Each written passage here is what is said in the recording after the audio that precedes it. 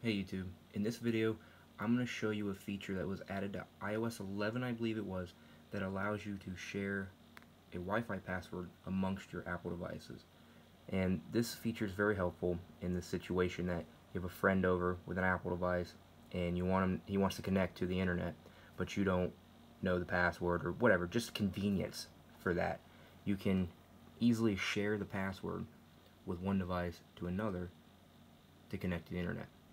So, you're going to need two things. One, you're going to need an Apple device, in this case an iPad, that's already connected to the Wi-Fi network that you're trying to connect the new device to. And then two, the new device.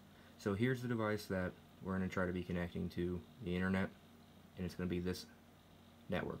So it's very simple. All you need to do is on is select the network you're trying to connect to, and it even tells you right there. You can bring it near any iPhone, iPad, or Mac, and it'll help you share but it, like it says, you have to be in their contacts.